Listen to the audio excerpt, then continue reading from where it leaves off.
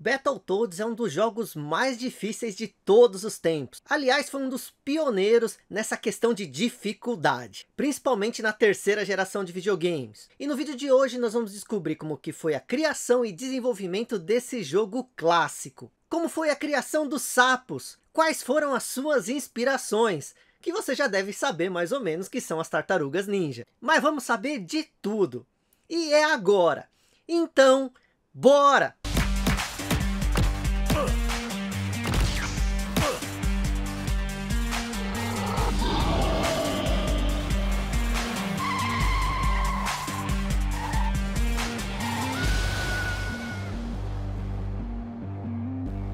Desenvolvimento de Battletoads. No começo dos anos 90, as tartarugas ninja eram uma febre. Além dos quadrinhos e do desenho animado, havia brinquedos, roupas, material escolar e outras tranqueiras, feita para que as crianças importunassem os pais até que eles comprassem. Com todo esse sucesso, outras companhias tentaram capitalizar sobre a mesma fórmula e surgiram vários desenhos animados nos mesmos moldes de grupos de animais antropomórficos que lutavam contra contra vilões. Não era de se espantar que esse sucesso chegasse nos videogames e inspirassem jogos com a mesma fórmula. Foi assim que surgiu um game que partiu das tartarugas ninja, mas inovou a ponto de se sobressair, inclusive pela sua dificuldade absurda. Estou falando de Battletoads, é claro, mas para entender isso, temos que conhecer a sua desenvolvedora, a britânica Rare, cuja sua história começa com a Ultimate Play the Game. Ultimate Play the Game, o berço berço da Rare. A história da companhia começa no Reino Unido, com os irmãos Tim e Chris Stamper. Os caras já trabalhavam com jogos para arcade, quando fundaram em 1982 a Ashby Computer and Graphics Limited, que operaria sob a alcunha de Ultimate Play the Game. Era a época da grande crise dos consoles nos Estados Unidos. Com a queda de popularidade do Atari 2600, a própria ideia de console de videogame entrou em descrédito naquele país. O jeito jeito de vender games para serem jogados em casa era produzi-los para os computadores caseiros, aparelhos que penetravam cada vez mais nos lares americanos, enquanto o descrédito com os consoles só aumentava. Outros países também se interessaram pelos computadores domésticos e também por seus jogos, inclusive o Reino Unido. Assim, a Ultimate Play the Game focou-se na produção de jogos para esses sistemas, sobretudo o GX Spectrum, computador de 8-bit da Sinclair Research, que ganhou certa popularidade. A grande maioria dos softwares comercializados para esse computador eram jogos, e a Ultimate Play the Game produziu muitos deles, incluindo alguns sucessos, como Jetpack e Sabre Wolf. E seu sucesso chegou na América, onde propostas de compra da empresa começaram a ser consideradas. Porém, o faro dos irmãos Stamper apontava para outro lado. A crise dos consoles era algo relativamente restrito ao ocidente. No Japão, Sega e Nintendo se lançavam com tudo nesse ramo, e foi exatamente em 1983, no auge da crise dos consoles nos Estados Unidos, que a Big N lançava aqui no Japão o seu console de 8-bit, o Famicom. Apesar do impacto da crise, Tim e Chris Stamper perceberam que o futuro poderia ser naquele console japonês. Assim, em 1985, eles fundaram a Rare Limited, uma companhia que surgiu da Ultimate Play the Game, com o objetivo de destrinchar o Famicom. Os caras perceberam que aquele console era muito mais poderoso que o GX Spectrum, não tinha loadings e estava deslanchando na terceira geração de consoles. Viram ali uma plataforma ideal para produzirem seus jogos. Por isso, importaram o console e estudaram seu hardware por seis meses, conseguindo algo que a Nintendo considerava impossível. Completaram a engenharia reversa do Famicom. Isso quer dizer que eles foram capazes de compreender minuciosamente todas as peças e processos do funcionamento do console, dominando seus códigos de programação sem qualquer contato ou ajuda da fabricante. O próximo passo era mostrar o feito para Nintendo. Os irmãos Stamper viajaram para Kyoto, onde conseguiram uma reunião com o executivo da Nintendo, Minoru Arakawa, que ficou impressionado com o que viu. Tim e Chris Stamper conheciam o Famicom de trás mais pra frente. Assim a Nintendo chegou ao extremo de dar à Rare orçamento ilimitado para produzir jogos para a plataforma. Os irmãos Stamper então pararam de produzir jogos para o GX Spectrum, venderam a Ultimate Play the Game e ficaram apenas com a Rare, independente e totalmente focada em produzir jogos para o Famicom. Nessa época, o console chegava aos Estados Unidos com o nome de NES, Nintendo Entertainment System, e começava a reconquistar aquele mercado para os consoles. Com a popularidade do sistema e seu grande conhecimento dele, a Rare se tornou uma produtora fértil, lançando dezenas de jogos para o console. Contudo, a desenvolvedora ainda não tinha se aventurado num genérico específico, os beat'em ups, ou os brigas de rua. Esse estilo era um sucesso nos arcades, e um deles se tornou um marco da geração, Teenage Mutant Ninja Turtles, lançado pela Konami em 1989. Era a época da febre das tartarugas. Todo aquele sucesso das tartarugas ninja que mencionei contagiava os games. A essa altura, você já entendeu o cenário. A Rare era uma grande produtora de games para NES, e com o sucesso do gênero nos arcades, queria fazer um beat'em up para o console. Para isso, resolveu apostar no que era popular, as tartarugas ninja, com todo o seu sucesso dentro e fora dos games, desenvolvendo Battletoads para começar, criando sapos, a produção de Battletoads. A ideia de Chris e Tim Stamper era um beat'em up baseado no arcade das Tartarugas Ninja, mas que não fosse só um clone descarado. Eles queriam partir da mesma base, para criar algo com uma identidade própria, pegar o que já fazia sucesso e desenvolver algo único, mas naqueles moldes. Na verdade, a ideia era ainda mais ambiciosa. Os caras queriam fazer o game de um jeito que ele pudesse futuramente se tornar uma franquia de mídia em geral, como as Tartarugas Ninja eram. A tarefa de criar os personagens foi discutida entre Tim Stamper e um dos artistas da desenvolvedora, Kevin Bayliss. A ideia era que fossem animais antropomórficos, como as tartarugas ninja. Mas quais animais? Bayliss sugeriu sapos, porque era fanático por esses animais quando criança. Stamper gostou da ideia, mas Bayliss passou a trabalhar não só nos personagens jogáveis, mas num guia de estilo completo, com ilustração de todos os que apareciam no jogo. A ideia era ter uma base não só para o jogo em si, mas para futuros produtos de uma franquia. Isso era muito comum nos anos 90, quando filmes e desenhos frequentemente eram pensados de modo a produzir licenciamento para brinquedos e outros produtos. Porém, o foco inicial era mesmo os personagens principais, num design que realmente lembrava as tartarugas. Bayliss criou três sapos, Rash, Zitz e Pimple. Os nomes são curiosos e mostram como o humor daquela época era meio bobo e grotesco. Essas três palavras são gírias em inglês para espinha. Sim, aquela erupção na pele, que geralmente tem em adolescentes. O jogo a princípio se chamaria Amphibians, com Z no final, antes de receber o nome definitivo de Battletoads. Mas eu quero saber de você, você acha que Amphibians ia fazer sucesso? Além deles, outros três personagens foram criados para o enredo. Um pássaro humanoide, o professor T-Bird e duas humanas, a princesa Angélica e a vilã Dark Queen. No enredo, os sapos e o professor estariam escoltando a princesa Angélica na sua nave Vulture, levando a moça para seu planeta natal. Durante a viagem, Pimple, o maior dos Battletoads, decide dar um passeio no espaço com a princesa a bordo de sua nave particular. Mas antes que possam voltar à nave mãe em segurança, são emboscados pela Dark Queen e seus servos. Porém, antes de serem capturados, conseguem mandar um sinal de emergência para o professor Agora, Rash e Zitz têm que ir a Ragnarok, o planeta da Dark Queen, para resgatar Pimple e a princesa. Com o velho enredo da donzela indefesa nas mãos da gangue inimiga, clichê de vários beat'em ups, faltava agora traduzir em gameplay as ilustrações de Kevin Bayliss. E nos anos 90, isso implicaria num lento processo. O artista entregava suas ilustrações a um engenheiro, que delimitaria pequenos quadrados em toda a área do desenho, colorindos e passando para um decodificador gráfico, que atribuiria códigos hexadecimais, aqueles quadradinhos que se transformariam em pixels e os devolveria num disquete para um engenheiro, agora pronto para programar os sprites do jogo. Era um processo extremamente trabalhoso, não é verdade? As novidades começariam já nessas animações. No jogo, os personagens seriam cartunescos, de um modo próprio. Seus punhos se tornariam gigantes em alguns golpes. Seria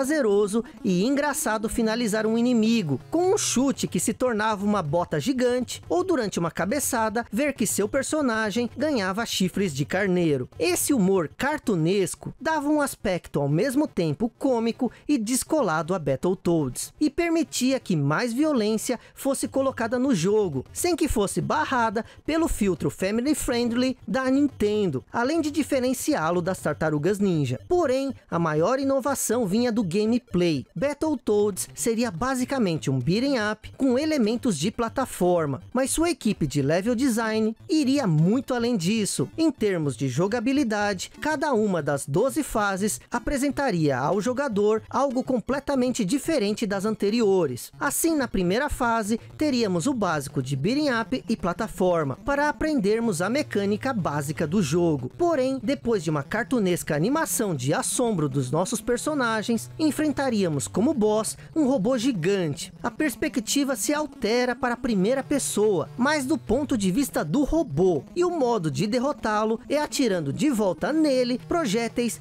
que ele lança contra nós. Essa inovação influenciou e influencia a sequência do jogo das Tartarugas Ninja, Turtles in Time. Nas suas versões de console, tinha um boss que aproveitava a mesmíssima mecânica. Ao fim da fase, teríamos uma breve animação da Dark Queen, servindo para manter o enredo presente. E logo em seguida, controlaríamos os sapos, descendo num fosso pendurados em cordas, se balançando com animações novas, para acertar tudo que estivesse no caminho. Uma fase completamente diferente da anterior, onde tínhamos que aprender uma jogabilidade nova. Nesse ponto, Battletoads leva um pouco além uma característica comum dos jogos da terceira geração, a dificuldade. Aqui não só teríamos que lidar com uma grande dificuldade geral, mas cada fase nos impunha uma nova curva de aprendizado, o que gerava frustração, mas ao mesmo tempo aumentava o tempo de jogatina, ao instigar os jogadores com o desafio. A terceira fase é provavelmente onde a maioria dos jogadores mais casuais desistiram da jogatina. O Turbo Tunnel. Aqui controlamos motos flutuantes, desviando de obstáculos em altíssima velocidade. A fase exigia uma precisão absurda, além de memorização. Se você não conseguiu passar dela e empacou para sempre em algum momento desse jogo, não se sinta fraco. Na verdade, a maioria da equipe de desenvolvimento também não conseguiu zerar Battletoads até hoje, com exceção dos level designers. Eles eram jogadores bastante hardcore e fizeram as fases de modo que fossem desafiantes para eles próprios. Daí tanta dificuldade. Cada nova fase, com sua nova dificuldade, teria também uma nova música de fundo. A trilha sonora do game ficou a cargo de ninguém menos que David Wise. Ainda não era muito conhecido, mas que viria a se tornar uma lenda depois do sucesso das suas trilhas na franquia Donkey Kong Country. Depois de observar atentamente uma fase, Wise se trancava no estúdio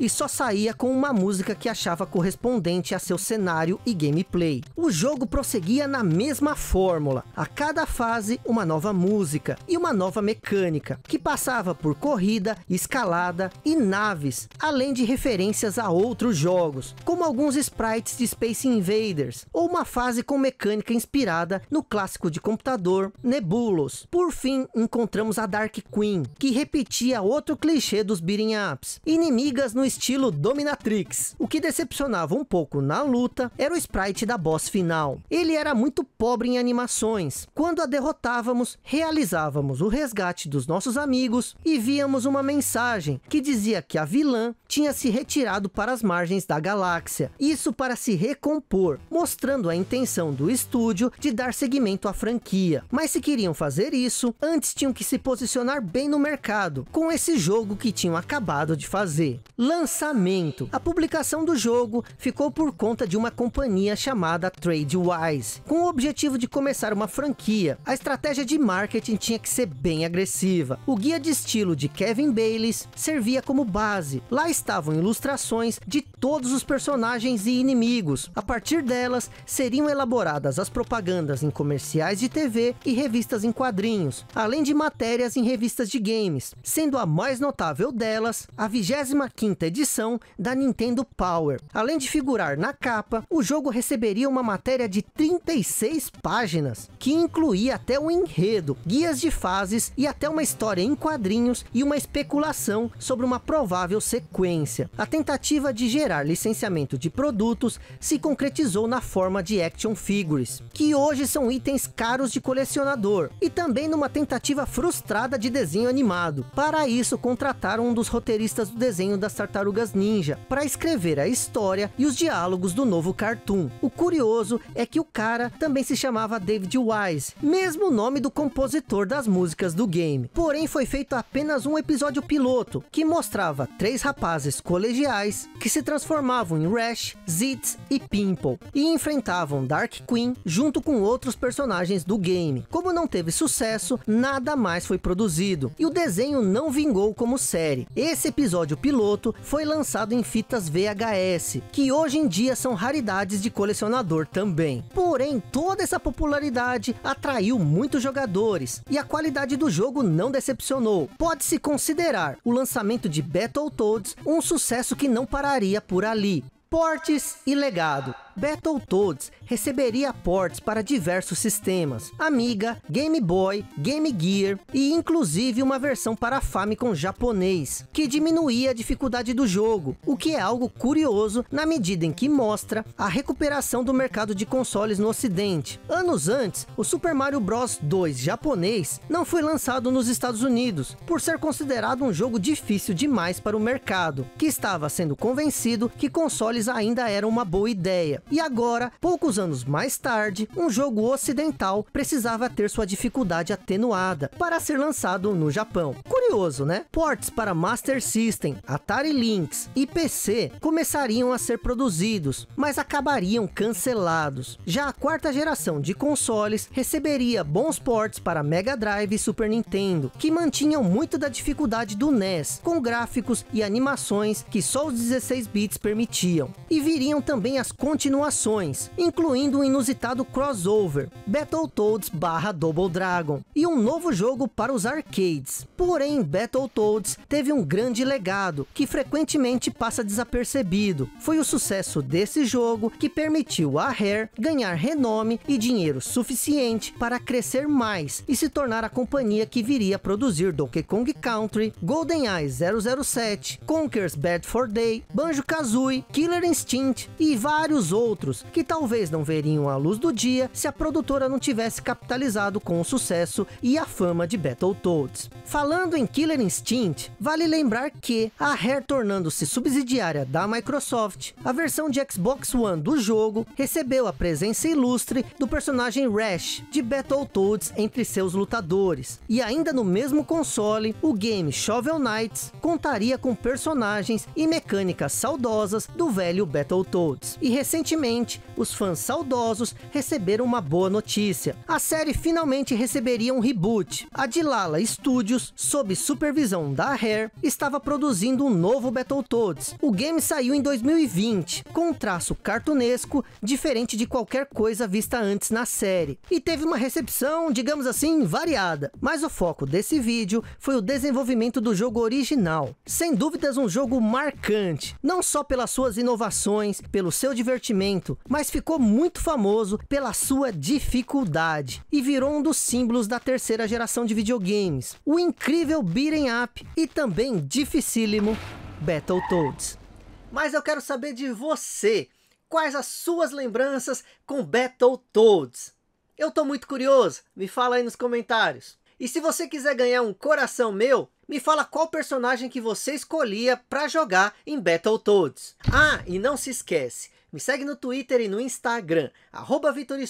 No Twitter a gente pode conversar sobre tudo. Já no Instagram eu posto foto de itens que eu ainda não mostrei aqui, além de você saber um pouco mais da minha vida aqui no Japão. Então me segue lá, arroba no Instagram e no Twitter. Eu sou o Isui, obrigado a você que viu o vídeo até aqui e até mais.